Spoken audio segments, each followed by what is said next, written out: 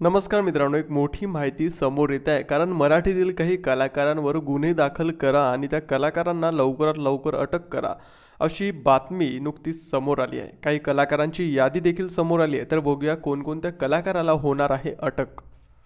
तर online rummy खेळण्यासाठी प्रोत्साहित करणाऱ्या जाहिरातीतील हिंदी आणि मराठी क्षेत्रातील चित्रपट कलाकारांवरही गुन्हे दाखल करावेत अशी मागणी राष्ट्रवादीने मुख्यमंत्री एकनाथ शिंदे यांच्याकडे केली आहे.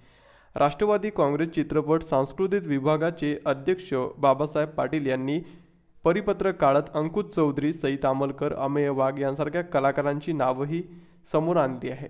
महाराष्ट्रात मटका किंवा पत्ते खेळण्यावर बंदी आहे. एखाद्या ठिकाणी अशा प्रकारचे खेळ खेळताना कोणी आढळले तर त्यांच्यावर कठोर कारवाई करण्याची तरतूद आहे. मात्र ऑनलाईन रमीमधून सुरुवात महाराष्ट्रात अवैध धंदा चालू आहे.